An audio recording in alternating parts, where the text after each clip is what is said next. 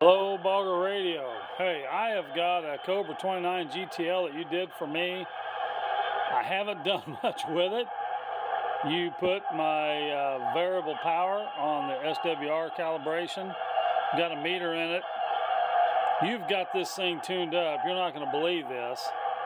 Let me go ahead and shut my amp off. I'm going to get my meter here and show you. This meter is usually very accurate, so I'm not questioning it. It's, it's LP700. Um, I'm going to give you a dead key here. Watch this.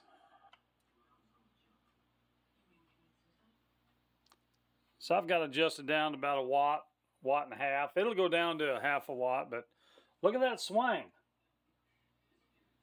Audio. Audio. There's 38. So that's peak. I cannot believe that. I mean, the radio sounds great. It modulates great. Haven't made any contacts with it because skip is so bad. I did make a contact in uh, California up on the mountains there a while ago, so it is working.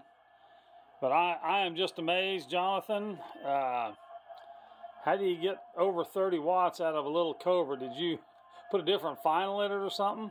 So Here's what's really got me excited.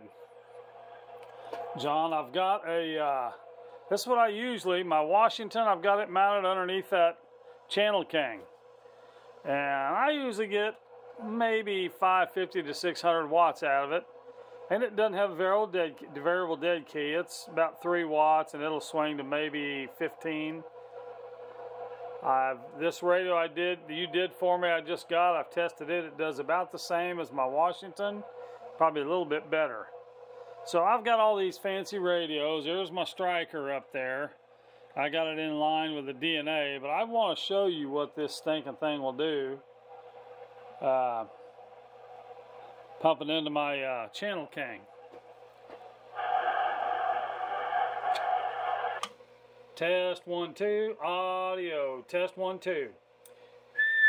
Audio.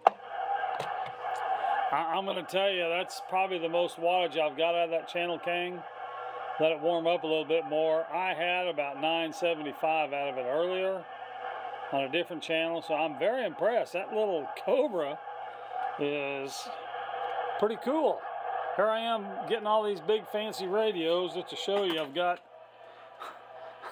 I've got a RCI 69, I've got a 142, I got an amp there. I got a Pride amp there, my power supply. And guess what does the job? That one right there. Thanks, Bogger. I like the little radio. I'll be keeping this one. Appreciate it.